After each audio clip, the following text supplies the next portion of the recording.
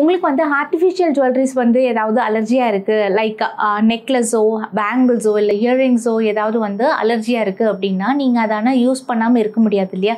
So அந்த மாதிரி இருக்கும்போது நீங்கள் என்ன பண்ணால் அது வந்து ஈஸியாக வந்து யூஸ் பண்ண முடியும் அப்படின்னு பார்த்தீங்கன்னா நெயில் பெயிண்ட் இருக்குது இல்லைங்களா? டிரான்ஸ்பரண்ட் நெயில் பெயிண்ட் வந்து நீங்கள் அதை யூஸ் பண்ணி அதாவது உங்களோட இயரிங் இருந்தால் இயரிங்கோட அந்த டிப்பில் வந்து அப்ளை பண்ணிட்டு போட்டிங்கன்னா உங்களுக்கு வந்து பெருசாக வந்து அலர்ஜிக் ரியாக்ஷனை க்ரியேட் பண்ணாது. அதே மாதிரி நெக்லஸ் போடுறீங்க அப்படின்னா நெக்லஸில் பேக் சைடு வந்து அந்த எனாமல் போட்டுட்டிங்கன்னா உங்களுக்கு வந்து அந்த அலர்ஜிக் ரியாக்ஷனை ப்ரிவென்ட் பண்ண முடியும். பொதுவாக ஏன் இந்த மாதிரி ஆகுது அப்படின்னு பார்த்தீங்கன்னா பெரும்பாலான இமிட்டேஷன் ஜுவல்லரிஸ் எல்லாமே வந்து நிக்கல் அதே மாதிரி ரொம்ப குவாலிட்டி கம்மியாக இருக்கிற மெட்டீரியல்னால ஆனது.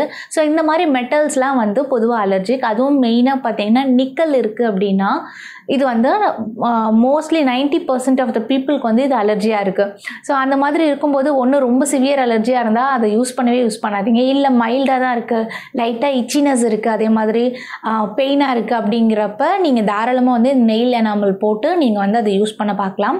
ஆர்எல்ஸ் அதை தாண்டி உங்களுக்கு ட்ரைனஸ் பிளிஸ்டர்ஸ்லாம் ஃபார்ம் ஆகுது அப்படின்னா ஜஸ்ட் அதை யூஸ் பண்ணுறத தவிர்த்துருங்க.